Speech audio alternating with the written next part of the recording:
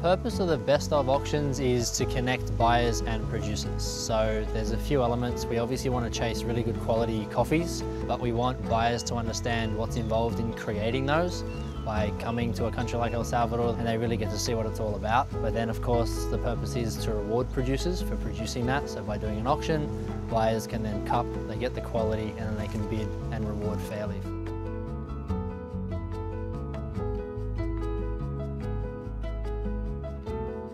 In my point of view, it's good that you guys, uh, the people, the, the visitors, come to Origin and, and realize how hard it is to grow good coffee.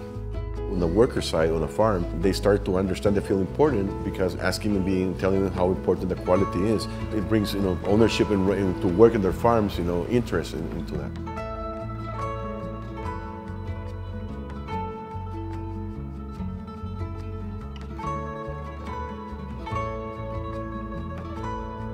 We read about these things and we hear about them from friends and colleagues in the industry, but until you do it, it all makes sense after that. You know, lots of the little, the little details about a culture, you know, that, that translates actually into the cup. Yeah, you don't really understand that unless you go. I would say all of the farms has its own magic. You know, like you can feel it when they are showing you around and just all the passion and everything what they are putting into it, all the hard work. It's just all over the place.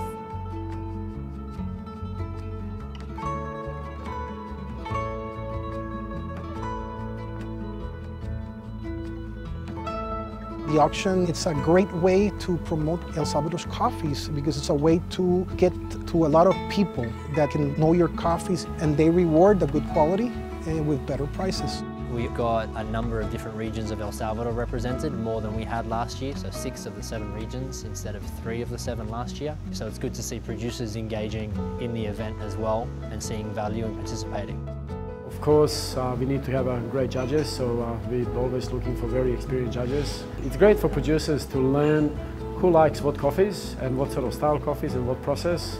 And it's also great for us uh, judges to, to learn from each other as well. So it's, you know, we, we're trying to build community here. Este evento sirve porque a través de mi finca casi que a nivel mundial no ni sabían que existía y a través de este proceso hoy sí ya saben que existe. Me beneficio yo y se beneficia la gente con la que, que me ayuda, todo. Porque yo les digo, el trabajo se hizo bien, les voy a pagar mejor otro año y sigámosle.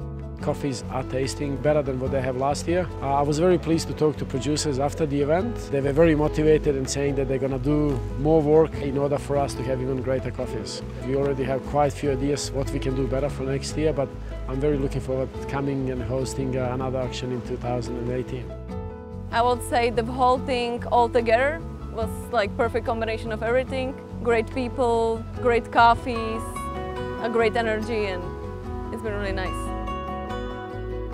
Save up your money, get on a plane, do it. it's such a beneficial thing and you really can't overstate what you'll learn out of being in a coffee producing country. It's really, it's really different and very eye-opening and inspiring.